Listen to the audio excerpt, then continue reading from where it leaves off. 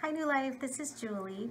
I was thinking about you today because I am in the office and every time I walk through those lobby doors to come in, I think about all of our memories here and I wanted to take you on a little on a little tour so that you can remember what it's like and keep praying for the day that we can be in here again together.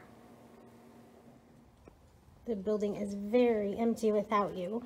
But imagine being greeted by guest services as you walk in, saying hello to the connectors at the info kiosk, walking towards the auditorium, waving to the next gen team doing check-in, or taking your child over there to put them into their class, getting your program at the door,